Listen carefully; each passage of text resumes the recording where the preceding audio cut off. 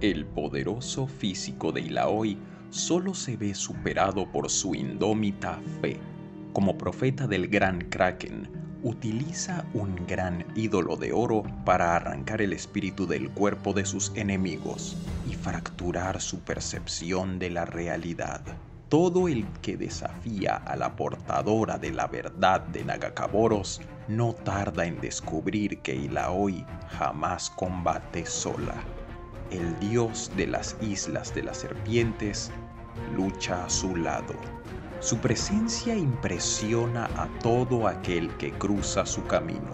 Como mujer intensa, la sacerdotisa está plenamente comprometida con la experiencia de vivir toma lo que quiere, destruye lo que odia y se deleita con todo lo que ama.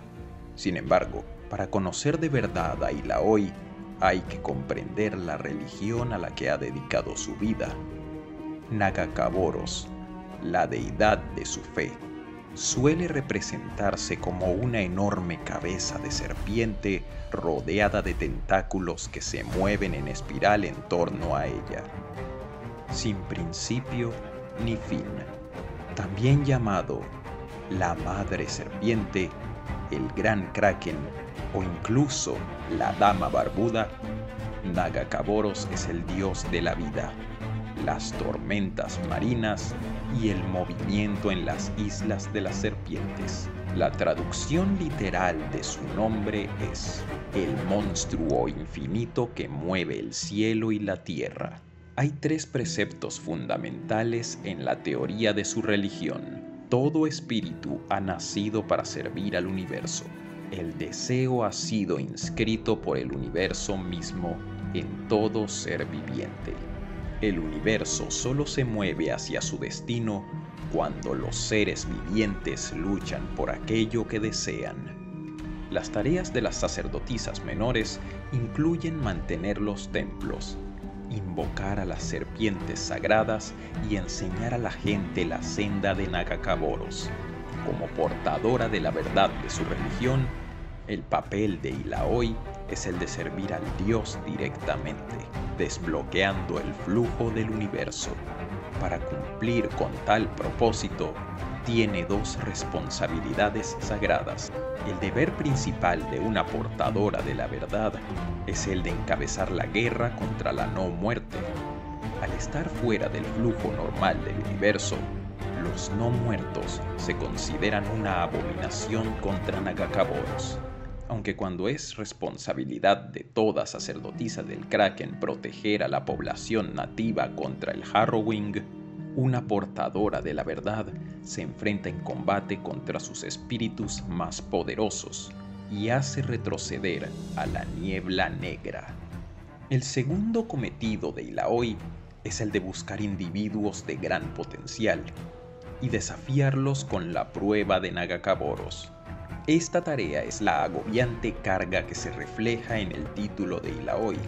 Con su enorme reliquia sagrada, el ojo divino, la portadora de la verdad arranca el espíritu del cuerpo de quien es sometido a la prueba y luego la obliga a enfrentarse a ella para demostrar su valía. Cumple este cometido plenamente consciente de que aquellos que fracasan son aniquilados, ya que el gran kraken no tolera la cobardía, la duda o la moderación, pero la destrucción nunca es la meta. Quienes sobreviven a esta difícil prueba cambian para siempre y a menudo encuentran la voluntad de buscar su verdadero destino. Aunque Ilaoi es la portadora de la verdad más poderosa y respetada de las últimas 100 generaciones, lo que mejor la caracteriza es su transgresión de las tradiciones que dicta su fe tras completar su formación como portadora de la verdad y en la cúspide de su poder, Ilaoi abandonó los templos dorados de Buru por la miseria de la aledaña aguas turbias. La ciudad pirata es el único lugar en el que se permite la presencia de los forasteros en las islas de las serpientes, y no es sino una cloaca fétida a los ojos del pueblo de Ilaoi las antiguas portadoras de la verdad ignoran la ciudad y consideraban a los extranjeros que llegaban allí prácticamente intocables.